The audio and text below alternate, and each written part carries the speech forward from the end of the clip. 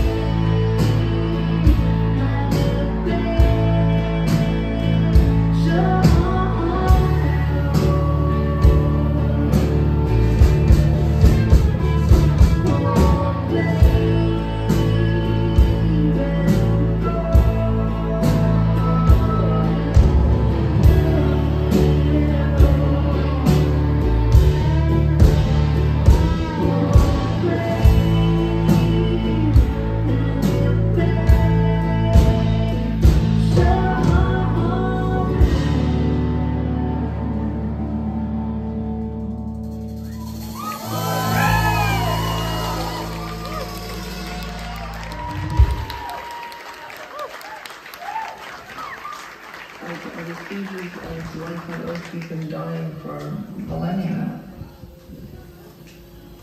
But I don't think energy dies. It's transformed.